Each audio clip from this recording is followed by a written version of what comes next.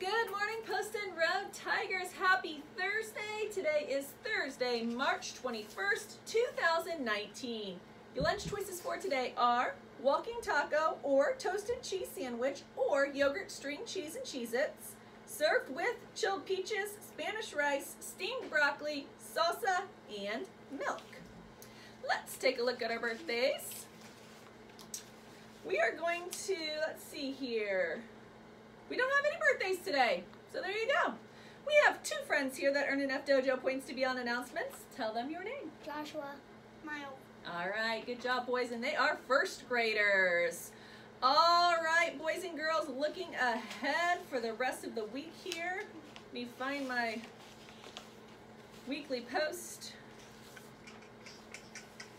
All right, um, tomorrow, boys and girls, we have pajama day for $1. So pay $1 and you can wear pajamas. That dollar will go towards the high school's dance marathon, which helps Riley Children's Hospital. So all of the kiddos that are sick at Riley, that money goes to them.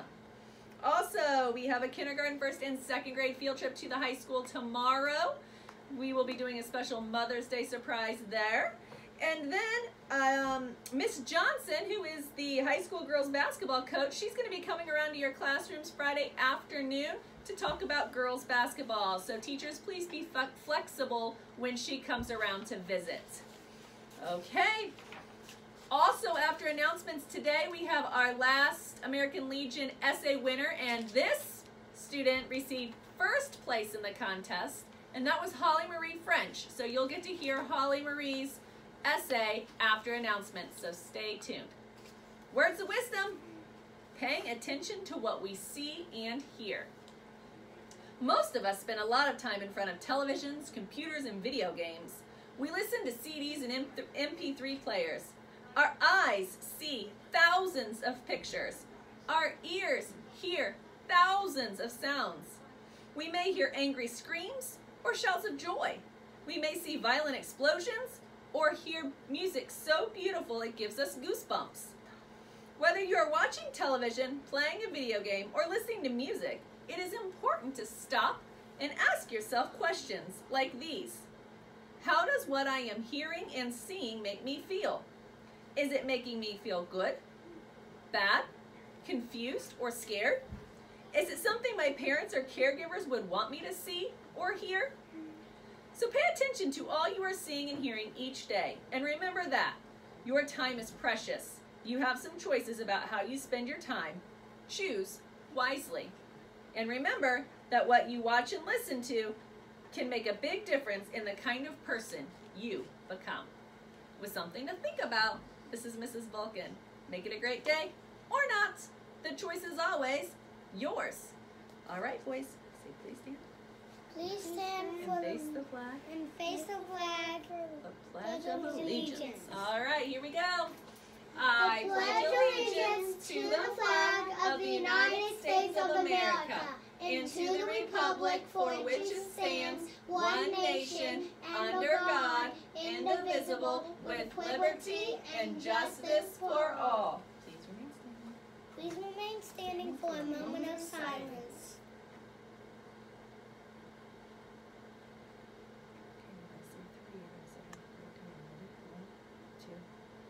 Have a great day. Bye. Stay tuned for Holly Marie's speech. Homeless veterans are becoming a big problem in our community.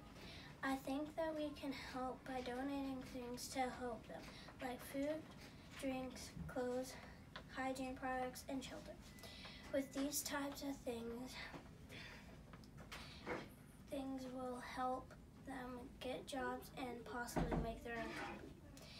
To help, we could go to Kroger and Walmart to get stuff for the homeless veterans.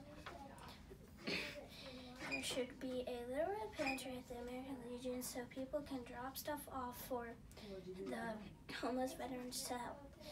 The homeless veterans veterans would need shampoo, toothpaste, and a toothbrush. Churches, schools, and offices can collect different things like how to get them places people help them by trying to find some how to get them around. There you go, babe. Since there are no buses or taxis, so people try to help them get to where they need to go. Homeless veterans would need food and water so they can stay healthy. They will get food from people donating them. Homeless veterans will get the money to buy water, food and water from donating fees, from donation fees. Homeless veterans population is becoming a big problem in our city. People can help by donating hygiene products, food, water, and clothes. People can also help them get around and help them find shelter. These things can get jobs or start a business.